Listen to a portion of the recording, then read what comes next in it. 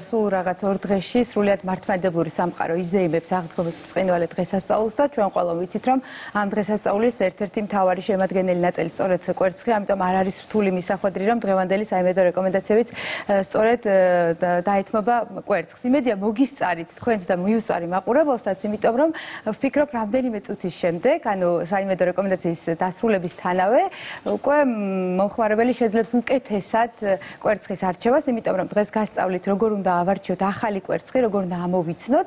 და ასევე ჩვენ ჩავატარეთ ექსპერიმენტიც გია ჯეჯანიძის მონაწილეობით, შევღებეთ კვერცხები და გავიგებთ რომელი კვერცხი იღებება უკეთესად. თუმცა მანამდე ამ ყოლაფრის გაგებამდე მე აუცილებლად მინდა ძალიან მოკლედ კვერცხის სასარგებლო თვისებების შესახებ გაგიზიაროთ ინფორმაციები, იმიტომ რომ საკმაოდ სასარგებლო პროდუქტია გამორჩეული, აი ამდენ მიკრო და მაკრო ელემენტ შეიცავს, ნახავთ ახლა, ასევე ძალიან დიდარი არის ვიტამინებით და ვიტამინებიდან გამოყოფდი კოლინს და D ვიტამინს, რომელიც უმნიშვნელოვანესია როგორც მოზარდებისთვის, ბავშვებისთვის, უფროსებისთვის და ყველასთვის, ასევე შეუცვლელი ამინომჟავებით, ცილები, მოკლედ, კვერცხი არის ძალიან სასარგებლო პროდუქტი, მაგრამ განსაკუთრებული სასარგებლო თვისებებით გამოირჩევა ახალი კვერცხი და ბუნებრივია ჩნდება კითხვა, როდიდან ითვლება კვერცხი ახლად, იმიტომ რომ ზოგადად კვერცხს აქვს ვადა 25 დღე მისი დადებიდან, თუ იმ შემთხვევაში თუ სწორად მოხდა მისი შენახვა, ანუ არა ძალიან ცხელ პირობებში, მოკლედ გრილ პირობებში, დადებიდან 25 დღე შეგიძლიათ თამამად ჩვეულებრივად თავისუფლად მირთვათ კვერცხი. მაგრამ როგორ გამოვიცნოთ? გამოცნობამდე მნიშვნელოვანია იმის ცოდნა, რომ პირველი 7 დღე ინარჩუნებს დადებიდან კვერცხი თავის აი ამ არაჩვეულებრივ თვისებას, რაც რა თქმა უნდა, შემდეგაც, მაგრამ 7 დღის შემდეგ ნელ-ნელა მისგან გამოდის მცირდება, უბრალოდ ბოლომდე რა თქმა უნდა არ გამოდის, მაგრამ ნელ-ნელა მცირდება აღნიშნული სასარგებლო თვისებები. ამიტომ ყოველთვის, როდესაც ყიდულობთ კვერცხს, უმჯობესია, რომ დადებიდან 7 დღის განმავლობაში შევიძინოთ ასეთ კვერცხს დიეტური ეწოდება და როგორ უნდა მოვიქცეთ. როდესაც შევდივართ მაღაზიაში, ძირითადად აი ესეთ შეფუთვაში ხდება ხოლმე კვერცხი სპეციალურად დაბრენდილი არ შევარჩიეთ რომ ბრენდის იდენტიფიცირების საშუალება არ გქონდეს. და მასზე არის ყოველთვის მითითებული ორი ორი თარიღი. ერთი უშუალოდ შეფუთვაზე და ეს არის ვარგისიანობის ვადა. ანუ სანამდე არის კვერცხი ვარგისი და უშუალოდ კვერცხის დადების თარიღი მითითებული არის კვერცხზე. ამიტომ აუცილებელია რომ დავაკვირდეთ კვერცხს კვერცხს კი ბატონო, ძირითადად ასეთ შეფუთვებში ახალმე გამჭირვალეში და პირდაპირ ჩანს კვერცხი, მაგრამ ზოგიერთი არის მოთავსებული ისეთში, რომ არ ჩანს. ჩუმად შეგვიძლია გავხსნათ ასე. ამოვიღოთ, დავხედოთ, ჩავ თუ არ გვაწყობს თარიღი, ჩავდოთ და შემდეგ სხვა მოვძებნოთ ჩვენთვის ასურველი. კი ბატონო. მაგრამ შესაძლებელია რომ არსებობდეს ისეთი ეჭვის თვალით რომ უყურებენ ასეთი მომხმარებლები შეიძლება გაუჩნდეთ შეკითხვა რომ წარმოებელს შეუძლია ნებისმიერი თარიღის მითითება პროდუქცია ამ შემთხვევაში არსებობს ხრიკი რომელსაც გასწავლით და რაში მდგომარეობს ეს ხრიკი. მოკლედ კვერცხი მისი დადების შემდეგ გარკვეული რაც უფრო მეტი დრო გადის მისგან ორთქლდება შიგთავსი. და ამ შიგთავსის ადგილს იკავებს ჰაერი. და როდესაც კვერცხს მსუბუქად გავაქანებთ იმ შემთხვევაში კვერცხი თუ არის ძველი და მასში არის დიდი მოცულობი დაგროვილი. ჰაერი ამ შემთხვევაში შიგთავსის მოძრაობას ვიგრძნობთ მარტივად. თუ კვერცხი არის ახალი ეს კვერცხი არის ახალი ამ შემთხვევაში არ არის შესამჩნევი შიგთავსის მოძრაობა. ამიტომ დახედეთ თარიღსაც და 1-2 წელი გააქანეთ თუ თუ ძალიან გაქანდა ლაყია თუ ძალიან გაქანდა ძველია, საერთოდ როგორ არის იცი, ძალიან ძველი კვერცხი წყალში არ ჩაიძირება, იმდენად ბევრი ჰაერია შეგნით, რომ ჩააგდოთ წყალში, ის ამოტივტივდება, მაშინ როდესაც ახალი კვერცხი მომენტალურად უნდა იძირებოდეს წყალში. და კიდევ ერთი მეთოდი უკვე სახში მოტანის შემთხვევაში გადავინაცვლებ აქეთ მხარეს, აი როდესაც წვავთ კვერცხს, ხო? აქაც მარტივი დასადგენია, რაც უფრო ძველია კვერცხი, ცილა არის უფრო თხევადი. ანუ აი გავტეხოთ და ვნახოთ. იმიტომ რომ ახალ კვერცხს ყოველთვის ცილა აქვს მკვრივი. თუ წყალივით გაიშალა თეფშზე ამ შემთხვევაში შეიძლება ძველი კი არ იყოს, მაგრამ არ არის ახალდადებული. და თუ ცილა ინახეთ როგორ შეკრულია, თუ ცილა არის შეკრული, ამ შემთხვევაში ის კვერცხი არის ახალი. ახლა რაც არის ეს ნორმალური მდგომარეობა. კი, კი, ეს არის ახალი კვერცხი დაახლოებით, ну, შეიძლება დღეს დადებული არ იყოს, ბუნებრივია კონკრეტულ თარიღს ჩვენ ამით ვერ დავადგენთ, მაგრამ მიუხვდებით რომ ეს არ არის 20 დღის კვერცხი და არის უფრო ახალი. ახლა სიახლის საკითხები გავარკვიეთ და გადავიდეთ გადავინაცვლოთ კატეგორია კატეგორიებზე. კატეგორიები ალბათ შეგიმჩნევიათ, რომ შეფუთვებზე არის ხოლმე მითითებული 0 კატეგორია, 1 კატეგორია, M კატეგორია იშვიათად გვხვდება ხოლმე. კატეგორიებს შორის არის სხვაობა ფასში, იმიტომ რომ 0 კატეგორიის კვერცხი ღირს უფრო ძვირი და მათ შორის სხვაობა არის ნახეთ ზომაში. ეს არის 0 კატეგორიის კვერცხი, ეს არის პირველი კატეგორიის კვერცხი. მაგრამ მათ შორის სხვაობა არის მხოლოდ და მხოლოდ ზომაში, სხვა სხვაობა არ არის. ეს არის უფრო დიდი ქათმის დადებული, ასაკით დიდით, ეს არის უფრო პატარა შიქთავსი აბსოლუტურად იდენტურია. ეკევა იგივე იმაში? არა, რა თქმა უნდა, მოცულობას თუ გულისხმობთ, არა, რა თქმა უნდა, ანუ ეს არის უფრო დიდი და შიქთავსიც ბუნებრივი არის მეტი, მაგრამ სასარგებლო თვალსაზრისით შიქთავსის შორის, რა თქმა უნდა, არის ერთი და იგივე. აა, დიახ, მაგრამ მე მაინც ყოველთვის უპირატესობას ვანიჭებ ხოლმე უფრო პატარას. ახალ უფრო ახალგაზრდა ქათამის დადებული, ქათმის დადებულია და ამიტომ რაღაცნაირად ფიქრობ, რომ დიდ კვერცხებს ბებრები დებენ? უფრო დიდი, ასაკი დიდი ქათმები დებენ. კი. და მხოლოდ და მხოლოდ ეს სხვაობა, არ ვიცი, გემოვნების საკითხი მოკლედ შეიძლება ის, რომელიც უფრო მოგწონთ. და კიდევ ერთი საკითხი, რომელიც მინდა რომ განვიხილოთ, ეს არის კვერცხის ფერი. როდესაც შევდივართ ჩვენ მაღაზიაში, ძირითადად ესეთი ქათქათა კვერცხი გვხვდება ხოლმე, მაგრამ აქა-იქ გვხვდება ასევე მუქი ფერის. თუ იცით რა სხვაობაა მათ შორის? ой, არა. ქათამი არის უფრო ხანდაზმული მუქი ფერის შემოყვანილი. არა, შეგვიძლია. იყოს რომ ლერწმის ყავისფერი შაქარი უკეთესია ამ შეკითხვაზე პასუხი უმჯობესია რომ ნახოთ ფოტოთი თეთრ კვერცხს დებს თეთრი ქათამი. ყავისფერ კვერცხს დებს სხვა დანარჩენი, ანუ შეიძლება ეს იყოს შავი ქათამი, ალისფერი ქათამი, ჭრელი ქათამი, მოკლედ გააჩნია კვერცხის შეფერილობა. ეს ახლა ძალიან მუქია და ალბათ შავი ქათმის ანუ მხოლოდ ფერშია სხვაობა. მხოლოდ ფერშია სხვაობა, ის რომ მუქი ფერის ქათამი არის კვერცხი არის უფრო სასარგებლო და რაღაცა გაჯერებული, უფრო სასარგებლო თვისებებით ეს არის რა თქმა უნდა. მითი, უბრალოდ სოფლის კვერცხი ხდება ხოლმე ხშირად მუქი ფერის, იმიტომ რომ სოფელში ხომ იშვიათად არის ხოლმე ქათქათა თეთრი ქათმები, ძირითადად ჭრელი ქათმებია, ან ეს თალისფერი მოყავისფრო და შესაბამისად სოფლის ქათამი. ის ჯიშია, კვერცხისდებელი, რაც ფერმაში ყავთ და უფრო ადვილი არის გასამრავლებლად კვერცხისდებელი. მე მგონი თვითონ გულიც უფრო მუქი აქვს, ხო, სოფლის. გულზე ექსპერიმენტის შემდეგ ვისაუბრებ, ჩვენ ექსპერიმენტი ჩავატარეთ ფერთან დაკავშირებით. გია ჯაჯანიძეს ვთხოვეთ ამ ექსპერიმენტში მონაწილეობის მიღება, როგორც გაირკვა, ის ყოველ წელს თავად ღებავს ხოლმე სააღდგომოდ კვერცხს კვერცხებს და ვთხოვეთ ამჯერად სპეციალურად საიმედო რეკომენდაციისთვის შეეღება კვერცხი, სხვადასხვა კვერცხი და ვნახოთ რომელი კვერცხი შეიღება უკეთესად, რომ ეს რეკომენდაციები შემდეგ გაითვალისწინოთ. ნახოთ.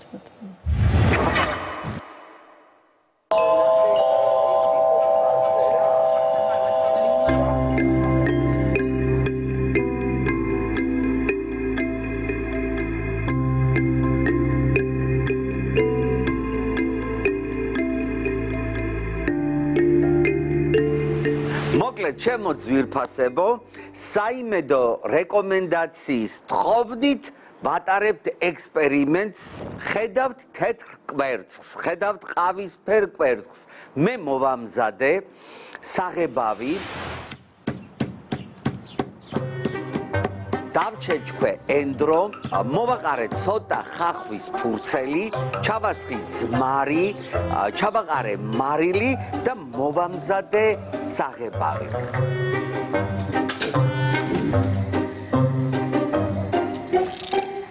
ოღონდ ეს საღებავი აუცილებლად უნდა გავაციოთ, იმიტომ რომ შეიძლება ცხელ წყალში კვერცხი გატყდეს. ეს უკვე მზად არის და შეუდგეთ საქმეს.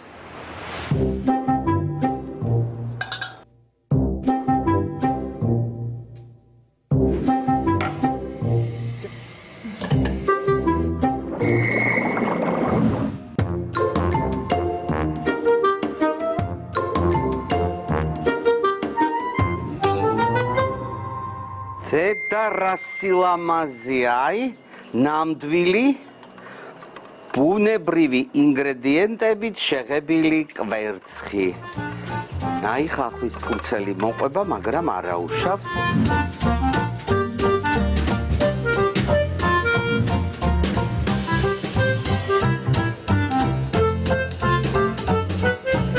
აი შეხედეთ საიმედო რეკომენდაციას რა მოუმზადე. თქვენ ნახეთ როგორ ჩავაწყე თეთრი კვერცხი და ყავისფერი კვერცხი. აი, თეთრი კვერცხისგან მივიღეთ აი ეს შინდისფერი ულამაზესი კვერცხი და ბორდოს ფერი.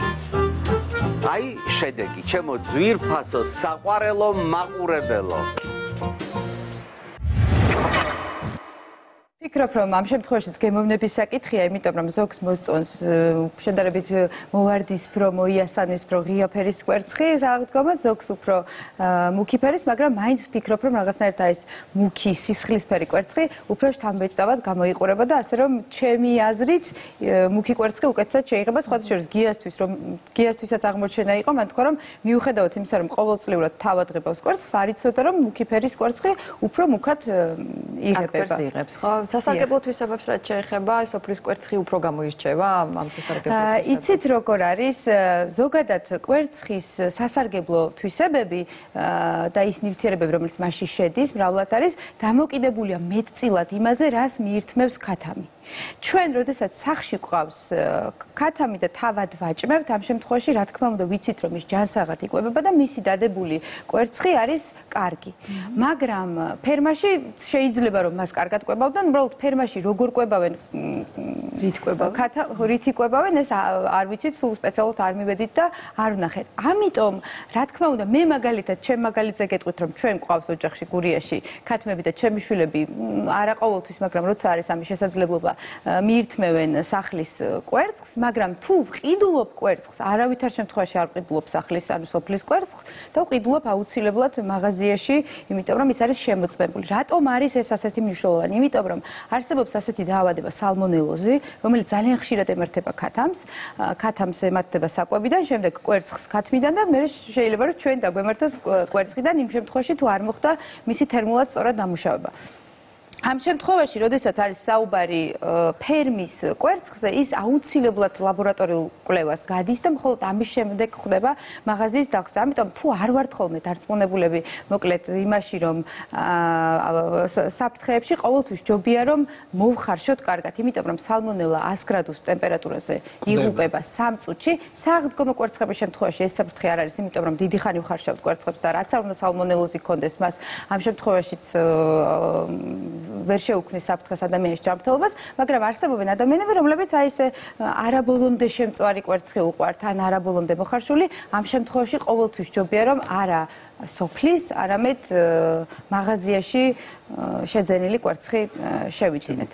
და კვერცხის გულის ფერზე იკითხეთ სიუჟეტამდე, აქაც გეტყვით, რატომ არის მაგალითად სოფლის კვერცხის გული უფრო მუქი ყვითელი და დანარჩენი არა, იმიტომ რომ თუ სიმინძე იზრდება ქათამი, ამ შემთხვევაში მისი კვერცხის გული იქნება უფრო მუქი ფერის, ანუ კვერცხის გულის ფერი დამოკიდებულია იმაზე თუ რას მიირთმევს ქათამი. სახში ქათმის კანის ფერიც ამაზეა დამოკიდებული. სოფელებში რო ყიდულობ ხოლმე ქათამს, რას იზავენ ხოლმე, იცი, გლეხები. აიღებენ ქათამს სულ შეუბერავენ. ფუ და ის ბუმბულები რო გადაიწება ყვითელი კანი. თუ გამოჩნდა, ესე იგი ის არის გემრიელი და კარგი.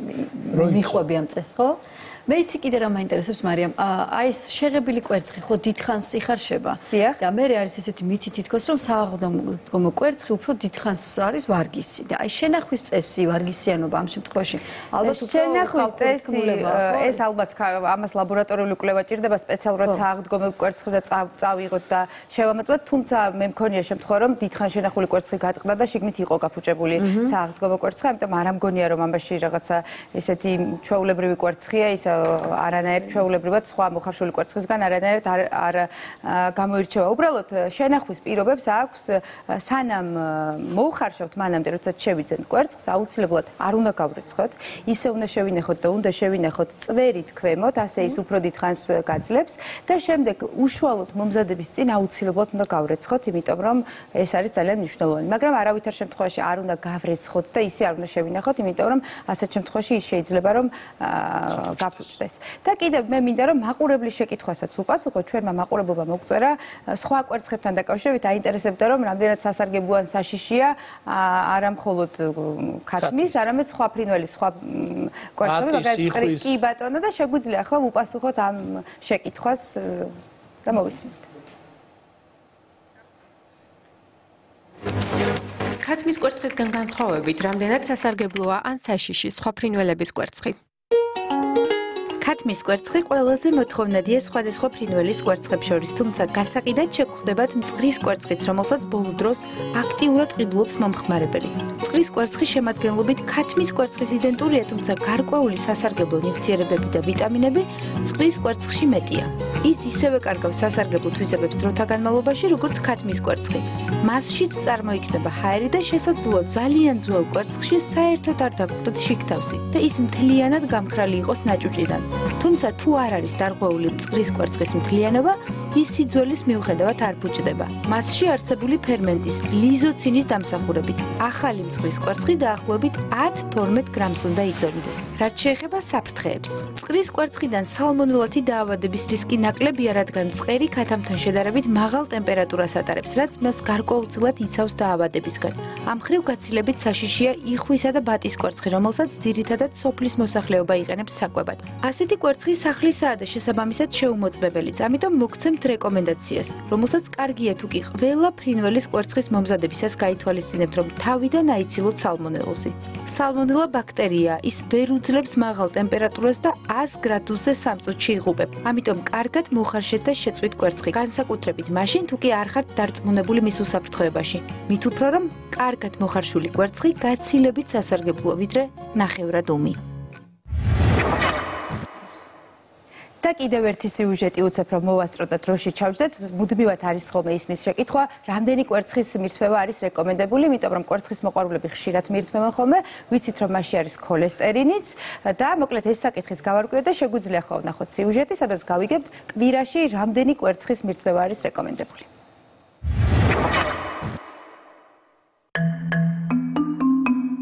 არსებობს ხალხში გავრცელებული მოსაზრება, რომ მიუხედავად სასარგებლო თვისებებისა, კვერცხის მიღების დროს საჭიროა დოზების დაცვა, რადგან მასში ბევრი ქოლესტერინია, რომელიც ადამიანის ორგანიზმში მოხვედრის შემდეგ უარყოფითად მოქმედებს ჯანმრთელობაზე. მაღალი ქოლესტერინი გულს ისხძარღვთა დაავადებების წინაპირობაა. სოფლიოს მასშტაბით არაერთი კვლევა ჩატარდა, რომელიც კვერცხში არსებული ქოლესტერინის საფრთხეებს არკვევდა. პირველ ეტაპზე მეცნიერების დიდი ნაწილის მტკიცებით კვერცხში არსებული ქოლესტერინი მავნეზე მოქმედებას ახდენდა ორგანიზმზე. მოგვიანებით ჩატარებულმა კვლევებმა აჩვენა, რომ კვერცხში მართლაც მაღალი ქოლესტერინის მაჩვენებელია, თუმცა ამავე პროდუქტში არსებული ნივთიერება ლიცეტინი აღნიშნული ქოლესტერინის ნაწილს ანეიტრალებს. კვერცხში არსებულ ქოლესტერინთან დაკავშირებით ჩატარებულმა უახლესმა კვლევებმა აჩვენა, რომ კვირის განმავლობაში არ უნდა მიიღოთ 12 კვერცხზე მეტი. კვერცხი ნამდვილად არის ქოლესტერინის ქოლესტერინის წყარო. მაგალითად, ერთი კვერცხი შეიცავს 180 მგ ქოლესტერინს, მაშინ როცა დღიური დასაშვები ნორმა 300 მგ-ია. თუმცა კვერცხი აუცილებელი პროდუქტია ჩვენთვის. სხვა უამრავ დადებით მოქმედებასთან ერთად ის აუმჯობესებს მეხსიერებას.